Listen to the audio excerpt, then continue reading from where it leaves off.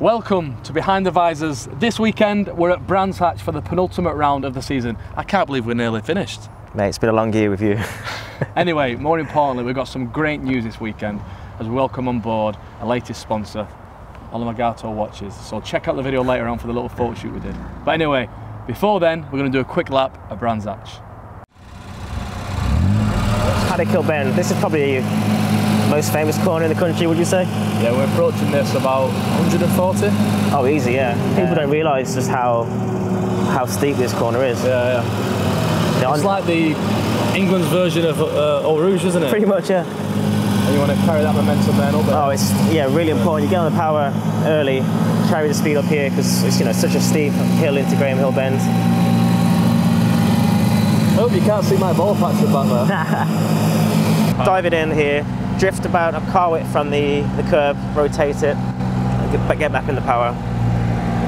This is also a great spectator point. All the years when I've come here as a spectator before I started racing to watch, we always stand here. Yeah. And the view, like Brands actually is famous for it, but the viewing you get for a spectator is just Yeah. it's like no other really. You can see. You can't beat it, you know, on a sunny day, ice cream, kids Yeah, are rolling around. It's great. It's probably one of the best best tracks in the country, I, I think it's my favourite track. I forgot how good it was Yeah. Until I came here this weekend, and uh, It's one of them tracks where when the car's good, you love it. Yeah, When yeah. the car's crap, you hate it. yeah. Yeah, it's really crucial to get a good setup, good exit here. It's very deceiving. It kind of wants to draw you into an early apex, but you really need to apex a long way around the corner. There's a bit of camber on the way in, so you want to be tempted to turn in early, but don't apex early. It's on. Whoa! It's on. Head down. Ready to go. Ready to go. Head Come down. on! Go on, send it. Straight over. There we go. It's gonna be a photo finish. Photo finish. Have we got it? Got him! Have we got it? Have we got it? Do this. Come on. Bit more! No. Oh. They must have been cheating. They must have been cheating.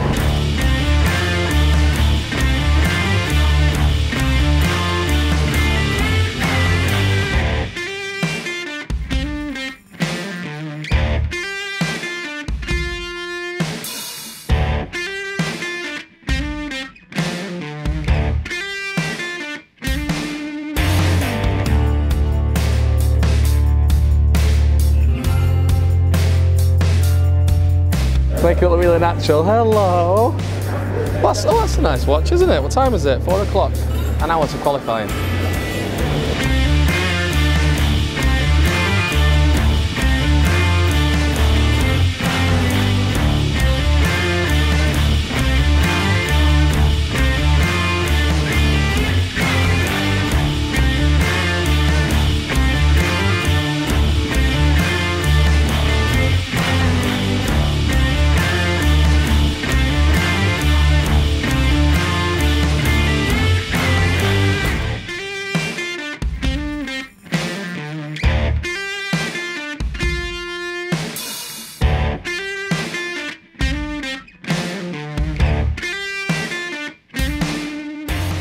So as you can see there, Plough is looking uh, looking pretty down, which is a shame because I think that's the best qualifying he's done all year. You know, uh, he put in an absolute blister in lap time, and uh, we both, you know, I think we're first in class and P3 overall, so that is today our, our best qualifying.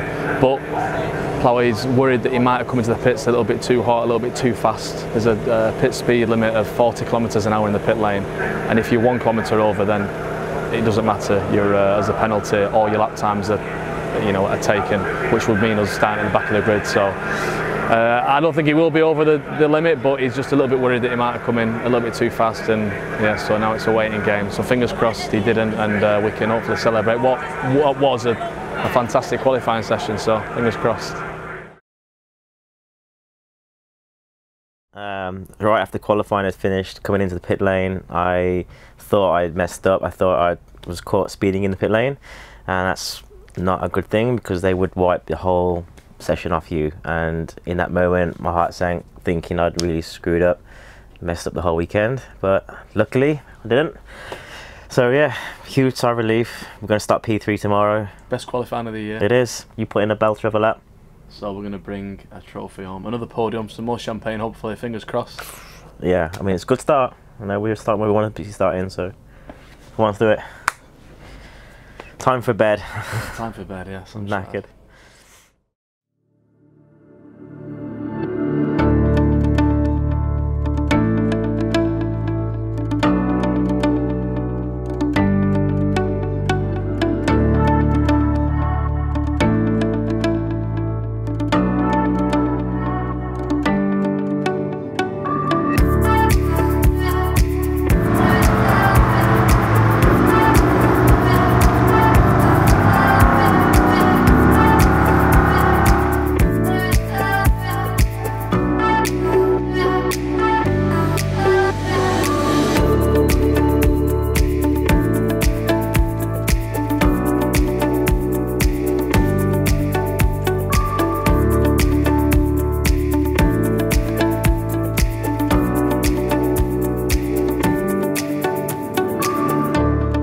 Kelvin's at the wheel, he'll be taking the start of the race, just heading now down to the grid.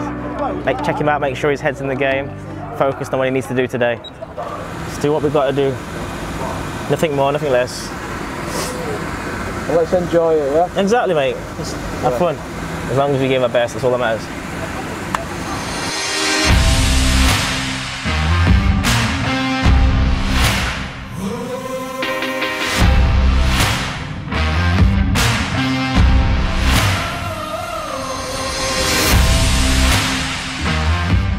And again, Kelvin Fletcher finds himself surrounded by silver graded drivers. Remember, he is a bronze graded AM. He's leading the AM Classic moment in the championship is Kelvin Fletcher uh, with his co-driver Martin Plowman by half a point, which seems to be the standard really this year. Now we see the attack from Kelvin Fletcher, and that is for class position.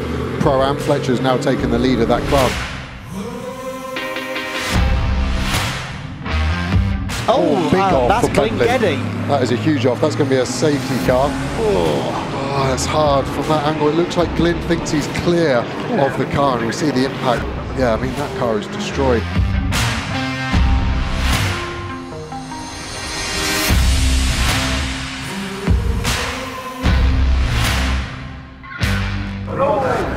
He did well to avoid that. So there's been a couple of really big accidents in the first part of this race and uh, Kelvin did very well to avoid one of them. Um, but the safety car now, which neutralises the race, and the whole pack has to pack up behind the safety car. It kind of undoes all the work that he's done so far, but now he's got another half an hour to get his head down, hopefully give me a bit of a lead. I'm getting in the car around about the hour and two mark, so another 30, 34 minutes. So it's time to get ready now. It's time. It's time. Oh, what time is it? Oh, it's time to race.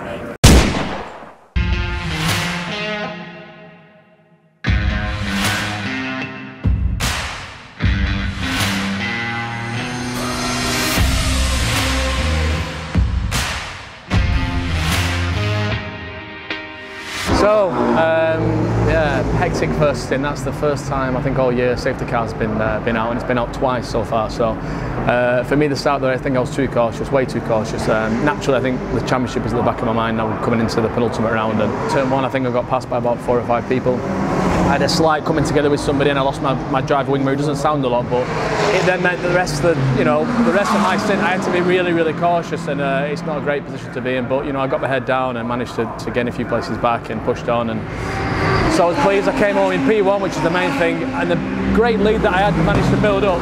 We came in, pit stop was absolutely perfect, and then as soon as Plowie got in, got on the road, another safety car, which means that the gap that I, the advantage that we pulled out from our competitors once the safety car comes out, everybody's and the race is nullified if you like, and the, the pace, everybody bunches up and comes back down. So whatever advantage you've managed to gain in my is is back to zero. So now the fight the fight is on. There's probably 25, 35 minutes left, and everybody's bunched up. So I think uh, P2 and P3 are only just behind us. So Plowey's got a, got a tough job in his hands, but you know, I'm confident in him. So fingers crossed. What's going on, lads? It's just over tyre at the moment. Yes. Yeah. Got the The battle that is for position here, then, by the looks of it, involves the 95 Aston Martin, uh, which sorry, 75 Aston Martin, which is 50 GT4, and then the 43 BMW, the um, Aston Martin 11 of uh, Martin Plowman, excuse me, uh, and also the TF Sport 97 car as well, which we mentioned of Tom Canning. So they're all fighting for position in amongst cars that are not fighting for position with them. But I think they're starting now slowly to get themselves uh, separated from the uh, the lap traffic more. Just, it's starting to look like a round of the British Rallycross Championship, this, isn't it? I think that if the number 11 car, Martin Plowman, wins Pro-Am, that will hand the championship to them because they were half a point clear. They win their class and Balfe don't finish or don't score, which looks like it might be the case. Looks as though Kelvin Fletcher and Martin Plowman might wrap up the Pro-Am title in GT4 with a race to spare. The leader who had a 30 second lead over everybody else uh, has apparently just put it in the wall at turn two. So, you know, you just got to be concentrating the full time. You know, cost a race lead and then potentially a race win. So, yeah, a lot of uh, misfortune for that team, unfortunately. All about us. Beep.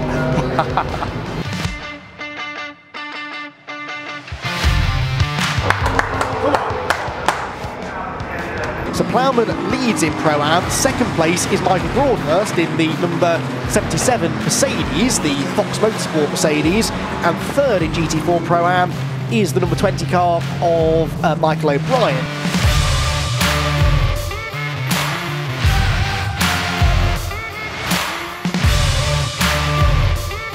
Right, this is the GT4 Pro-Am leader, and this, I think, might be enough for Martin Plowman and Kelvin Fletcher to wrap up the GT4 Pro-Am Championship. They were half a point clear of Michael O'Brien and Graham Johnson coming into this race, who have not finished. Plowman is going to come through and score 37 and a half points. He'll be 38 ahead, which means that provisionally they are the champions in GT4 Pro-Am. I reckon they've done enough to take the Pro-Am Championship, but it is all provisional because, of course, there are still uh, things that could change, but uh, certainly it looks good for them.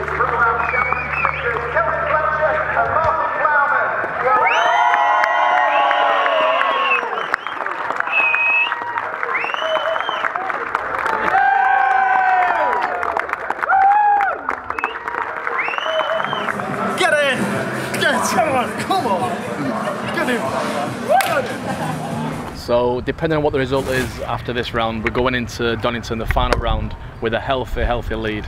And it pretty much means that the other guys have got to win for us not to win the championship. So as it stands for. at the minute, we're uh, Can't celebrate yet. can't celebrate just yet. We're just nearly there, but So- we're leading the pro-am, and hopefully we can do the job at Donington. So all in all, a fantastic weekend. See you at the next one.